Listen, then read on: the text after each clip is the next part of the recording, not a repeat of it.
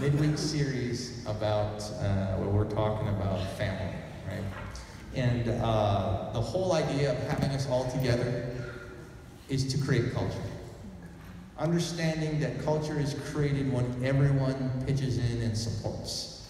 That when we're talking about dating, we want everyone to support that culture. We want our singles to be able to have the marrieds as a reference and as advisors as confirmation to go, hey, do these principles actually work? And you can see uh, the, the nods or the people that have gone there and have gone ahead of you and learn from them and go, man, what does it take? Because the world says it's impossible. Uh, it doesn't work. It, you, you, know, that sin has to be involved, but then we can look at uh, the great marriages that we have here. And then uh, last week we talked about marriage. And obviously, marriage is such a broad topic. We talked specifically about communication and kind of how conflict escalation happens. And conflict escalation can end at any point. But we talked about the four points. It starts with criticalness, criticism, which we've all done. And we don't have to start there, but even if it does go there, we can respond by taking responsibility as opposed to defensiveness, right? And, and then from defensiveness, it, it grows to contempt, anger, and hatred, right? And then from that, it grows to whether we explode or we stonewall. And I was really encouraging the singles that, hey, this isn't, these principles aren't just for married people. That, that if you understand the principles, like physics, like people that made pyramids thousands of years ago, they exist today because they're based on principles of science and physics that never grow old. In the same way, when we look at the scriptures and we dig out the principles of relationships, well, you know, you open your eyes. This can apply to your friendships as well. It can apply to the roommates that you have. And rather than saying, you know what, I just can't get along with this person, just saying, man, what can I do to make this better? And so we talked about uh, marriage, but again, there was something there, hopefully, for all of us. And today, we're going to talk about parenting. Again, such a, uh, such a broad topic, and, and again, but sp- we're going to narrow it down specifically to this idea of discipline and training your child. A couple things. If you're single, there's two things you can take. One, store this stuff up away. I, you don't want to be, you know, five, ten, whatever years from now when you got kids. Oh, man, I wish I paid attention. And I can tell you honestly, the greatest parenting lessons I got was when I was in college, watching my evangelist train and disciple his baby, his baby children who are now grown adults and married to disciples. But I remember I saw it and I had the privilege to kind of ultimately see the fruit of it. Secondly, the principles involved in training apply to children, but quite frankly, they apply to adults as well. And I think for those of us that don't have kids, I think a lot of the things that I'm going to talk about, that they're lessons in leadership for all of us. Okay, so these are things that if you are looking for wisdom, you'll find it. And if you're not, well, you, you won't find it. And so, and as we talk about discipline, I want to start with this by saying that we, and whenever we're, we're talking about these topics, and, and I mentioned this, before, when we talk about disciplining in the context of our children, we want to avoid all extremes. Right? The Bible talks about the fool, you know, just a man who fears God, a man who honors God avoids extremes. And so, one, we don't want to be disciplinarian where it defines the relationship to the point where you go, oh, I knew a strict parent and he was just abusive. Yeah, we, we don't want that. But we also don't want, you know, a parent that's like, you know, bargaining with the four-year-old and the four-year-old is terrorizing the parents. He's like, yeah, Billy, I thought we had an agreement. Well, you know, we don't want that either. Because you, if you're a parent, and I know there's a lot of new and young parents, you have an obligation by God, and that's what we're going to look at to train and discipline your child.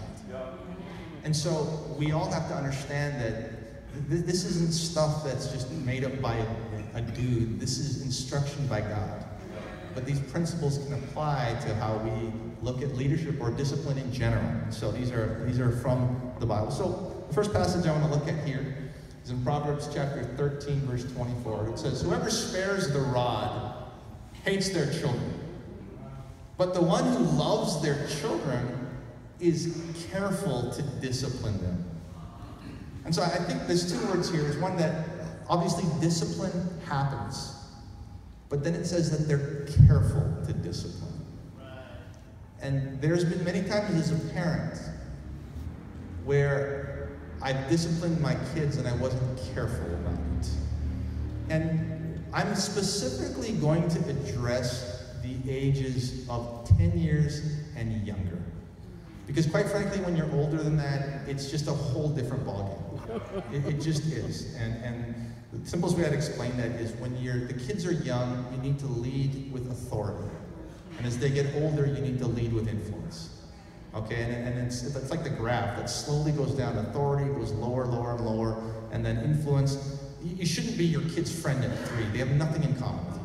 Okay, there's just literally nothing in common. You're the boss. You're always right when they're three, and uh, you know you should be leading by authority. But but then obviously as they get older, if you don't start leading by influence, you're going to embitter them. So the context of me talking about discipline today is about kids that are 10 years and younger. And we're going to flush out some of these uh, concepts. But before I do that, this is very important that we address this concept of discipline. So I want to read a passage here from Ezra chapter 3. This is a time where God's people in his, his, his temple and his, was in ruins, and so they rebuilt the temple of God. It says, And all the people gave a great shout of praise to the Lord, because the foundation of the house of the Lord was laid. But many of the older priests and Levites and family heads who had seen the former temple wept aloud when they saw the foundation of this temple being laid, while many others shouted for joy. That's. So you have this situation in the history of Israel where they were laying down the temple, and you have this odd scene where the old people were crying and the young people were fired up. And uh, two weeks ago, we had the remembrance of 9 11. And what I want to talk about is kind of sort of the generational gaps that we have in regards to discipline. When 9 11 had happened, my grandparents were all alive. And I remember my grandparents' response to it when 9 11 had happened. And I was uh, in the college working, my wife and I were working in the college ministry at the time in Canada. And it gripped the whole nation of Canada as well as America. Obviously, it's our neighbors, it was a world attack, it was an attack on humanity. My grandparents were like, let's get them back. They need to do, they need to bomb the heck out of those guys. But my grandparents grew up in a time of war. My grandfather was participated in World War II. My mother heard about the attacks on 9-11 and proceeded to vomit. And she told me, and she looked miserable. My parents grew up as children during the Korean War. During the Korean War, the North Koreans came in, and if it wasn't for, for the US, they were going house to house. They saw a hill, my father told me about, that was near their house, that later they saw dead bodies. And so when my mom heard about it, she vomited. When I heard about it, my friends and I were fascinated. We tried not to be inappropriate, but it was the first time my generation had seen an act of war. And my kids are learning about 9-11 from their teachers who were kids at the time that it happened. I share this to say that every generation has had its own response. And our generations form how we view things. You know, the generation that was older than me, they viewed discipline as like, man, we got to do it. This was a hard-working generation. But unfortunately, that generation often didn't have great relationship with their fathers. This current generation is so anti. Oh no, we just got to do. I'm, no, we got to take care of little Billy. We're not to. They're more connected and relational, but they're less hardworking as a generation. They're less reliable. And, I, what, and what I'm trying to tell everybody is, we all are. We're all formed our views on this topic through many through many biases in our generation. And what I want to do is say, listen, we've got such a, a wide range. We've got teens and college students and single people. We've got people that are older, than, you know, my, my, my dad's age and, and older. But let's put all that aside and look at what the scriptures teach about. Right? Because every generation is going to have its view, whether it's on war or it's on discipline. What's not important is kind of our, our, our generational view, because what we know is that the principles in the scriptures are timeless. You know what I mean? They're timeless. And I always get amused when someone goes, hey, the Bible's out of date. I always ask that person, when did it become out of date? Like five years ago? Like it was good for 3,000 and then just in 19, you know, in 2012 you thought it became out of date? And the joke is because it is timeless. We're here studying. And so as I look at discipline here, let's look at, I want to show a, a short 50 second video of a kid crying, and I want to make a point. It's okay, a little cute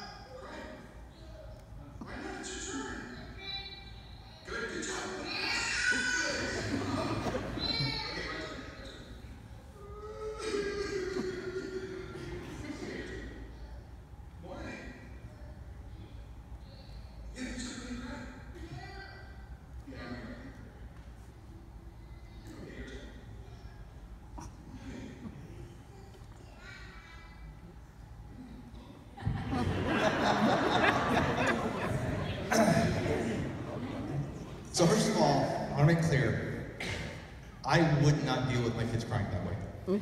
But the point I want to make is that the kid didn't have to cry. Okay.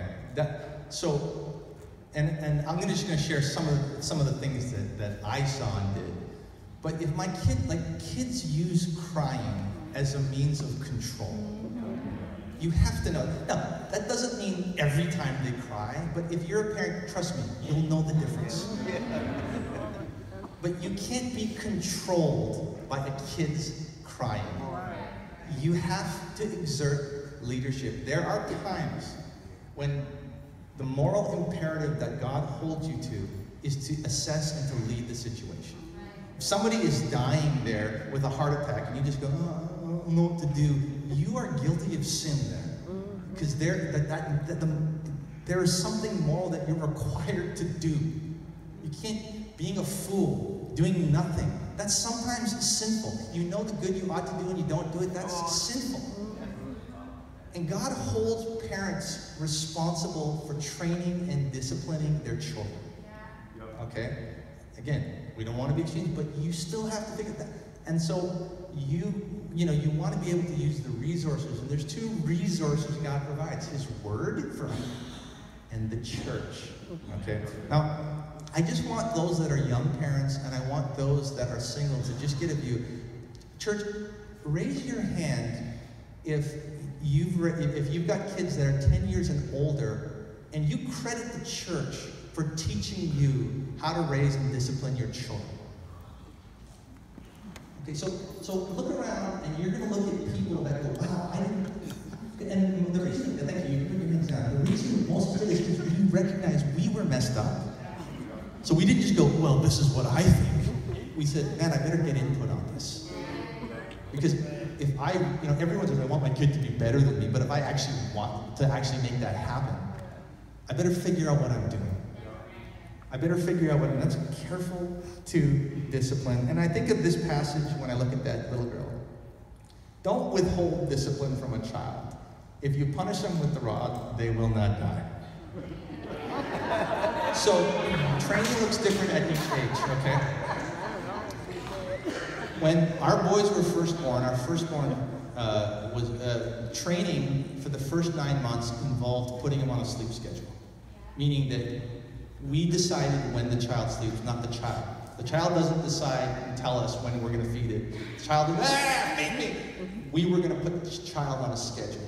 Now, when we, Ruth and I first did that, we were first-time parents. I get it. I get the, the scariness of being a first-time parent. And we put, and then all these people like, no, you, you, you do not let that child goes to bed, and, and if it screams, you let it scream. And we're like, ah. so we put, you know, a little baby in there, and we put him in there. Ruth's literally crying. I can't leave him. We've got to. This is what we're supposed to do it. And by the time we had a third, it was like, all right, just leave him there. I'll stop crying in about 20 minutes, but this is an old hat for us. So I understand it's an emotional process because you love that little nugget like anything. And we went through it. We were like, this is my world. And, but, but, that, but you have to lead that child. And then after nine months, we, we started to introduce a measure of physical discipline. Now it's a little little baby, so we would just slap its finger, you know, like not, I mean, no touching that light socket. And again, you feel terrible because then you look at us and go, right? He, he didn't die. I have news for you. 17, 15, 12, they, they, didn't, they didn't die. You know what I'm saying? Didn't withhold it. And then later on, when they were old enough, and this is where you get advice, and with each person it's going to look a little different, we started to take a little wooden spoon to their bum bum. Now, when you smack a child on their bum bum, it stings and hurts them. I got news for you. They don't die. Okay? And we're talking a little bit about practicals of that. Okay? So, I'll look at this passage here. It says, one, uh, my son, don't make light of the Lord's discipline. Don't lose heart when he rebukes you, because the Lord disciplines the one he loves, and he chastens everyone he accepts as a son. Now, um, I understand some of us have a very tough context for discipline. Some of us, if not many of us here, the only form of discipline we received was abusive. If we did something wrong, we were told you're an idiot, uh, or physical discipline was too extreme. And I understand it. You know, we're all come, we come from a broken world.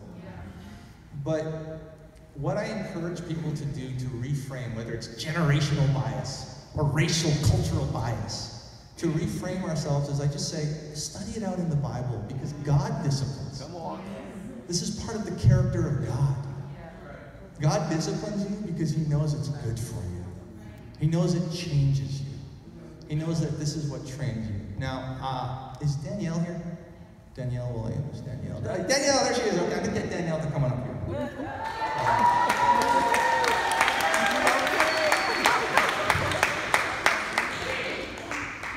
Good. Okay, so I'm just going to introduce Danielle and I'm going to ask her a couple questions. So, Danielle, first of all, if you don't know Danielle, Danielle is uh, in the campus ministry. She is what I, what I would consider an awesome disciple. She loves people. She uh, reached out to her roommate, baptized her roommate. She's she shared. She's yes, yes, Ryan right there. Ryan Espen. She she's uh, to me she's just a wonderful example. If I had a daughter, I would want her to be like Danielle. Okay, she's relational. She's connective. And uh, I just have so much admiration for this young woman. Okay, now she's also a kingdom kid and was raised in the church. And so I guess one of the questions I wanted to ask Danielle and talk a little bit about you can share uh, is your thoughts uh, about your parents' discipline. So, did your parents discipline you first of all? Yes, they did. Okay, so can I ask, you know, just for the sake of the, uh, what did that look? Can you just kind of describe a little what that looked like for you? Um, so I think I'm not really sure what age it started, but I know it started as like pats on the hand, Uh-huh. um, and then eventually my parents kind of I graduated to um, a small painter stick from Home Depot on the bum, Mhm. and then I think by the time um, probably like three or four, once I was a little bigger, Right. um, they started using like a bigger Home Depot. Right. So, And do you remember why they would do that? Like, what, what would be a reason that we'd get that? Or like, do you remember doing something, or what would they respond? Being just deliberately disobedient. Um, usually there was like a warning, and then after like I went against that and kind of did my own thing because I'm pretty independent. Right. Um, in nature, um, they they would get the stick. So. Right. And uh, sometimes they'd have me go get the stick. So. Right, right, right. That is just Uh, so, can you share your personal thoughts or convictions now? Obviously, you're, you're, you're she's going to the University of Michigan. She, she's, she's just a she's a wonderfully uh, accomplished young lady. She's got a full ride out there. Uh, she's dating. She's uh, she's a disciple. Uh, you know, I, I think it, it wouldn't be an exaggeration to say most parents would be proud to present Danielle as your daughter. But I'd love to hear your thoughts on discipline and your personal. Yeah. Yeah, yeah. Um, I I don't know. I would say that discipline is important. It taught me that there are consequences to my actions, both good and bad. Um, and so even now, like going forward, I know that when I choose something that's against God's will, and He's made that evident to me, either through His Spirit or through the Scriptures, I know that there's going to be a consequence. Um, so I think even now, just like seeing um, when a child is disruptive kind of in public or different things like that, and there is kind of that negotiation, I'm like, it just looks ridiculous because you're teaching that child that it's okay for them to act a certain way and still get what they want. Um, when I've been taught through discipline that that's not the case. E- e- Excellent. And then uh, did you ever, like, obviously you bumped with, I mean, you're a normal person, you're, we're all sinners, you bumped with your parents. Do you ever feel, was there ever an argument between you and your dad, now that you're an adult? Like, I'm bitter because you spanked me when I was five. Has that ever been an issue? No. Okay, all right. Thank you, Danielle. I I just wanted to get really close. I think the other thing is, I think she's a grown woman looking and saying she too can discern and go, yeah. And, and, and I think for my boys as well, when we see a kid in the mall that's lying flat down and the parents like, we gotta go. All right, I guess we're staying, you know, and stuff like that. That is not how disciples raise their children. I want to make clear that that we we're safe, we accept each other, we love each other, we work through our weakness, but we also have an obligation to be a light. Yeah. We have an obligation to be a light in our parenting, and we have an obligation in our marriages, and all these things. And I, I know we're all in different spots in our journey, but again, this is I want to talk about this so that we understand the culture we want to see. So it says this. Train a child in the way they should go, and even when they're old, they will not turn from it. And again, the thing that I want to encourage you is that the way disciple parenting work looks at their children is discipline is not punishment, it's training. Yeah. And it's a fundamental paradigm shift from how the world views it. So my parents, whom I love and have a great relationship, they're not disciples, but I love them dearly, and uh, uh, they they they're Asian, so they disciplined me with a wooden spoon. But it was most often punishment, right? Now it was sometimes training too, but a lot of times that's context, and so I had to reframe it. And so when I've not been careful in parenting my children, I've disciplined them in anger as punishment because you upset me, and that's wrong. And I think as a parent, what you do in those situations is you pull your kid aside and you say, "I'm sorry, Daddy was angry." And when I've parent, when I've spanked them and their mom, a lot, a lot of times I've just said, yeah, "Buddy, I'm so sorry." I've, I've given them hugs like, "I love you," but yeah, this is what happens when you punch your brother in the head. You get a spank. Understand that? Yeah, I know. I know. I know. You might have deserved it, but you get the spank, okay? You do it and it's over. And you give them a hug when it's over. You show them you still love them afterwards, right? But you still train them because now they go, oh wow, I'm not going to do that anymore. I want to read. Um, so one of the books I can recommend, and this is for me personally, this is just an opinion, is the series, especially for young parents. But it's called Baby Wise. They, they have Baby Wise, Toddler Wise. It's a series, Child Wise, and Preteen Wise. It's it's the and then Teen Wise. But I would say the first four books are outstanding in terms of teaching parents. And if, if you're going to get the book, I always tell the dads, make sure you read it too. Don't want your wife to have all this conviction. You're like, yeah, yeah, yeah, I'll think about it. But read it with your wife so that you guys are both on board with parenting. And I want to read just a small excerpt uh, from this book. Sorry, I've got to navigate this one here. Okay. It says, there are four capacities children have. They have physical capacities. Duty of every parent is to nurture, provide for its children's physical growth, well-being, right? Feed, clothe. Children have intellectual capacities. Duty of a parent is to stimulate his child's intellectual competency, educate their children in basic skills, logic, useful knowledge. Children have emotional capacities, right? The duty of a parent is to nurture his child's emotional well-being. Parents help their child establish internal controls, both positive and negative emotions. And lastly, children have moral or spiritual capacities. The duty of a parent is to help his or her child internalize virtues that reflect the values of family and society, right? All four facets receive attention. None should be neglected because you don't want, because competency and character go hand in hand. You don't want to raise a smart child that lacks integrity. You don't want to raise a smart, uh, you, don't, uh, you don't want to raise a great athlete that's shallow intellect. You don't want academic skills without values, or you know, or values without healthy emotions, or happy feelings without productivity, or physical stature without moral wisdom. And so, of these four capacities, which is the most important?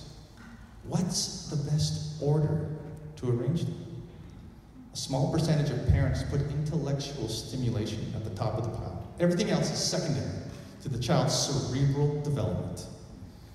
When blocked, when you arrange their development this way, the child's character and emotions are usually left underdeveloped. Second arrangement is represents the lion's share of modern parenting. It considers a child's emotional development as the first priority in training. Morality and academics are dependent on it. The theory is that if a child can be made to feel good about itself, they'll turn out great. By the way, they will not. Okay? They will not. It actually says they will not. And I echo that. Some parents think, think physical development deserves the top position. They enroll their children in all the aerobics, pee wee, football, swim teams, weightlifting. Certainly, parents should encourage their children in this area. Most kids develop physical skills, honestly, just by being. So then, how should you stack the blocks? We believe that the moral, spiritual education should be the priority of early training. It's absolutely essential for optimal intellectual and emotional development, as well as the advancement of natural skills. Moral training gives children advanced modes of thought that is more easily transferred to both the intellect and emotions than any other form of education. Moral training provides objectivity needed for emotions to function freely without overpowering the child. I won't read it all, but it's saying that of all the things that transfer, like you can learn integrity from sports, but you can also not learn integrity from sports. We see that in athletes. But they're saying if you teach a child and you put the fundamentals on their spirituality and their morality, they will learn work ethic. They will learn self-denial. They will learn to push harder in that soccer game. They will learn to persevere in their academic studies. Because you placed the blocks in the right order. You put the emphasis for the child on the spiritual and moral development. And as disciples, that's what we believed. God said, and you know, it's funny, this is like psychologists. Thousands of years ago, thousands of years ago, God said, You teach your people about me. You teach your kids about me, to follow me and to love me. Everything else will be good with your kids. Just do that. Uh, I think thousands of years ago, God knew what he was doing. It's not something that grew old. So you look at this and it says, um, here's why making them emotionally better is not going to help. Because folly is bound in the heart of a child. They have something innate in them that you and I have innate in us. It's called sinful nature. All right, so just making sure that their self-esteem is good is not going to get rid of their sinful nature. And for all of us, till the day we die, we are managing our sinful nature. We're battling our tendency to be critical. We're battling our tendency to be an introvert. We're battling our tendency to be lustful. We're battling our tendency to lie. I have had teens, teenagers that are disciples say, you know what? I'm not gonna, I'm for a whole week, I'm just not even gonna look at my phone. Why? I just, I feel like it's distracting me and I want to be more focused on people and God. Where, where, does a teen learn that? Because early you teach them that, and his own volunteer, like he's trying to be more spiritual. That's and you go, wow, that's where, where does a teen, where does a 15, where does a 13 year old get that conviction? I've been to camp where I've seen 10 year olds go, Mr. Kenya, I really need to confess some stuff I've done to you. There's 15, 40 year old men that don't have the guts to do that. Where does a 10 year old have the integrity to tell the truth in their heart? That's more important than doing a quadratic equation, people. Where did they learn that, right? Because early you train them because folly is sin is bound up. And early you're giving them the tools to recognize sin in their heart and to fight that. Amen? Amen. This is what Danielle said a rod and reprimand impart wisdom. You have a great talk with your kids after you spank them, after you wipe away their tears, you know, depending on their age, you know. If they're, uh, you know, when the kids would, the boys would flop when they're getting their diaper changed, you know, no, no, no. You're like, all right, that's it, stop, stop, okay. And you spank them. And they don't really, they don't speak English at the time, they speak baby. You're like, no, okay, no flopping. You'll be amazed how smart they get and how quickly they get smart when you start when you start disciplining their child. You, they, these kids, they start operating at a higher level, just right away, once discipline becomes a part of their life. And you're like, you're not chasing around the all. You tell that child to come here, and if it doesn't come, you train them. Expectations, let me be really clear here. Expectations means that you know what you're going to do when those expectations are not met. That's what it means. Otherwise, if you don't know what you're going to do, it's called a hope. I hope my child behaves well. Great, so do I. I expect my child to behave well. That means you know what you're going to do when they don't behave well. Right. That's what an expectation means. And so you have to develop healthy ways to train and to discipline your child, right? Um, so I'm going to close off here and uh, with this is so why, when, and how. And again, I'm just one person, and I really want to encourage uh, parents that to, to seek out some of the parents that have navigated. I mean, we've got people like Doug and Donna War, and we've got you know Danny Karen. We've got so many great families here that I know would love it if you just said, "Hey, how do I get my kid on a on a schedule?" Ruth and I never figured any of this out ourselves. We just come from such. She comes from like a, a, a, third world country where there's five kids running around, and I came from a scriptorial background. You know, I just you know got beaten with chopsticks, and we just what, what do we do? What do we do? And and we and so many people were saying, here's what it looks like, you know. And, and there's a girl named Keisha. Keisha Barrett that said, Ruth, dude, I'm just like, I'm up all night. She goes, no, girl, no, don't you. You put that kid on a schedule, right? We're like, okay, okay. And that's what happened. But somebody really challenged us to be Christians in our parenting. That we're not going to give in to whatever our generation told us. We're not going to give in to what our culture told us. We're going to give in to what the Bible tells us. Because in that, there is wisdom. So why would, it, why would we discipline our children? And again, this is very specifically 10 years or younger, okay? Uh, again, let's talk to some older parents and, and, people that have navigated their kids through the teen and college years. Uh, that's a very different thing. And, I, and, if you have kids older than, than 10, I really want to encourage you to get a lot of input because a lot of conversations have to happen and discipline needs to look differently. Yeah. But for 10 and younger, why would I discipline? You heard it with uh, Danielle. If they're disobedient and they're disrespectful.